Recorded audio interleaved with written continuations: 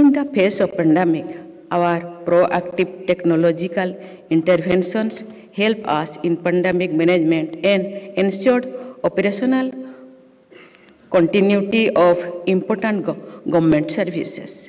As a result, India has emerged as an important country using technology for a resilient economy and people centric governance.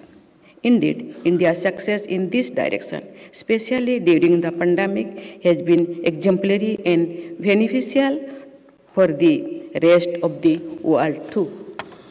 Thus, Digital India is also playing an important role in enhancing the country's profile on the world stage.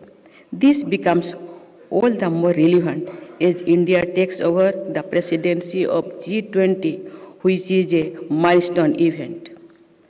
What is not noteworthy here is that India, as a mother of democracy, has been substantially using these technological innovations to deepen the democratic traditions rooted in our soil.